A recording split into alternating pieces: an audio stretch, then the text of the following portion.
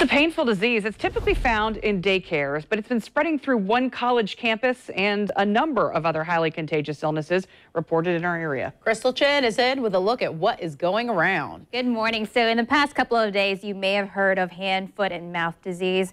It can be miserable for kids who get it, but recently several cases of the disease have been reported at Florida State University. We'll get to that in just a few moments, but first, let's take a look at what uh, we're seeing around Duval County, starting with our sick weather map. We're seeing a lot of people people still with a bad case of allergies, especially over towards Mayport, where some of those allergies are leading to sinus infections. Now, over towards the west side, seeing a lot, seeing five people reporting, and up towards Panama Park, we've got five excuse me, four people with the flu. Now in Clay County at the care spot in Middleburg, they're also dealing with pink eye, stomach bugs, sinus infections, and strep throat as well. Down in St. Johns County at the Healing Arts Urgent Care, uh, several people have been suffering from pharyngitis, and that's possibly from strep throat. There's also been a number of rashes and skin infections that's been reported. And in Nassau County at the care spot in Yulee, it's strep throat, bronchitis, and sinusitis.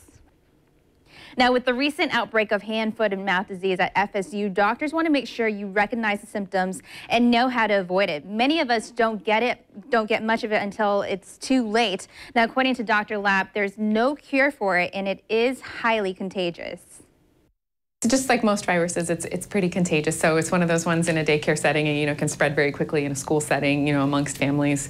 You know, if they haven't had it, will often spread amongst the whole family. Hand, foot, and mouth disease is caused by a number of different viruses. Symptoms include fever, lack of appetite, sore throat, and a runny nose. Within a day or two after the initial symptoms appear, a blister-like rash forms on the hands, feet, or mouth. Dr. Lapp says that parents will often bring their kids to the doctor because they're not eating only to learn that the lack of appetite is being caused by mouth sores from the virus. The illness is spread through direct contact with nose or throat fluids of an infected person or through contact with infected stool.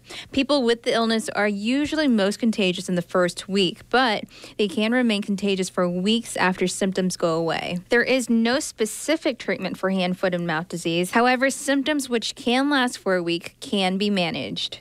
Dr. Lapp says it's best to avoid foods and drinks drinks that are too acidic that can irritate mouth sores. Avoiding the orange juice, uh, pineapple juice, those kind of things, and stick with more milder foods, you know, cold things may feel a little bit better, sucking on a popsicle, those kind of things. Um, you can also use over-the-counter pain medications as well.